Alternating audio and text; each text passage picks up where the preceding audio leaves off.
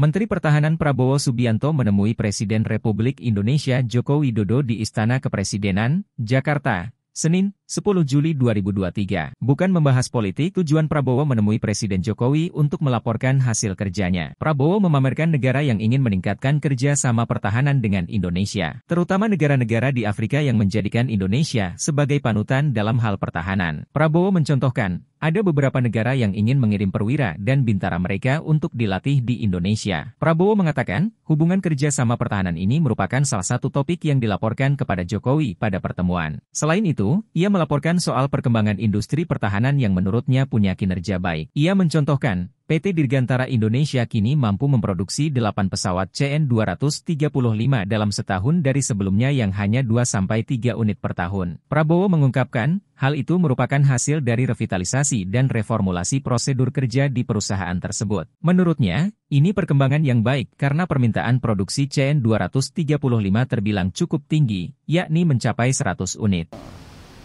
Uh, kemajuan industri pertahanan kita sangat baik uh, kinerjanya sudah sudah bagus dan akan diperbaiki terus. Sebagai contoh,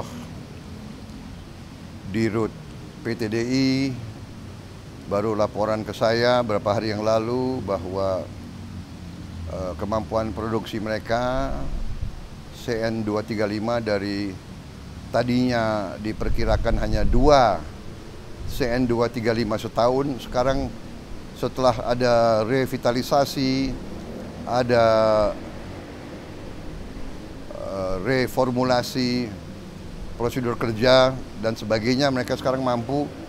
Laporannya kedua PT 8 dari yang tadinya 23 setahun sekarang mereka mampu 8 CN 235 setahun. Ini sangat bagus perkembangan karena permintaan CN 235 di uh, banyak negara uh, cukup tinggi, cukup baik.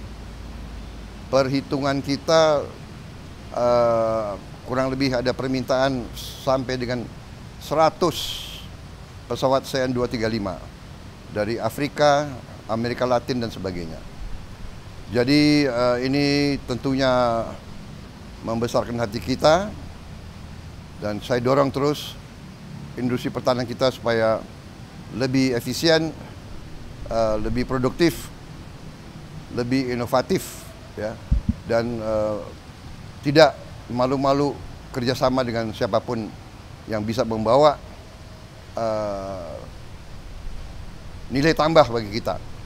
Dan juga tadi saya laporan ada memang beberapa negara yang minta meningkatkan kerjasama pertahanan sama kita. Mereka ingin uh, mengirim uh, perwira-perwira dan bintara-bintara mereka untuk dilatih di Indonesia.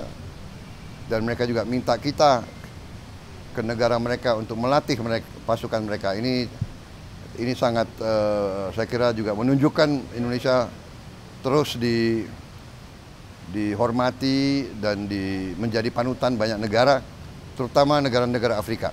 Terima kasih sudah nonton. Jangan lupa like, subscribe, dan share ya.